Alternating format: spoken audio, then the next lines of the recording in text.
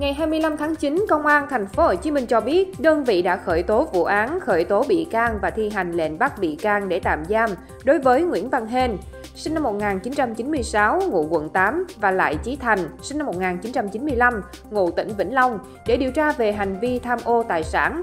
Trước đó, Hên là trưởng nhóm vận hành địa điểm kinh doanh Bình Chánh ở ấp 2, xã Phạm Văn Hai, huyện Bình Chánh và Thành là nhân viên tư vấn giao nhận, được giao nhiệm vụ vận chuyển điện thoại di động để giao cho khách, đã bàn bạc chiếm đoạt số điện thoại di động cất giữ ở địa điểm kinh doanh Bình Chánh của công ty.